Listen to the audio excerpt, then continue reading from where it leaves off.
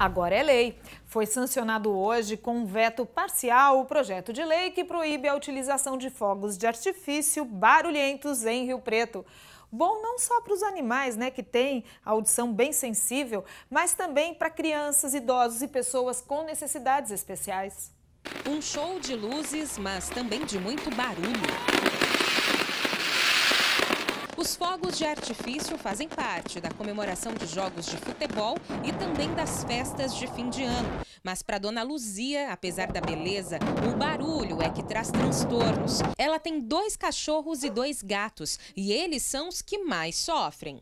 Muito, muitos, muitos. Principalmente a minha cachorrinha de muita estimação, deu um infarto nela com essas bombaiadas, tudo, ela morreu.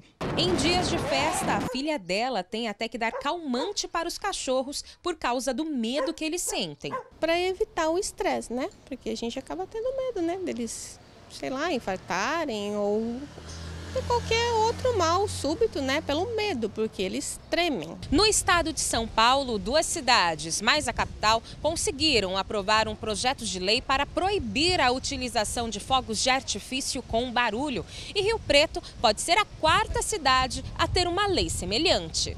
Os vereadores da cidade aprovaram por unanimidade o projeto que beneficia os animais, mas também idosos e crianças autistas. A proposta é da vereadora Cláudia de Giuli. As pessoas acham que é só os animais, mas não é.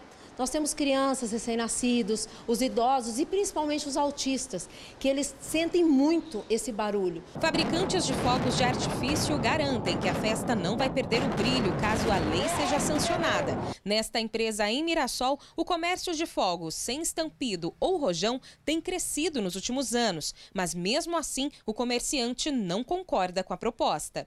É uma besteira, por exemplo, a pessoa querer proibir isso aí.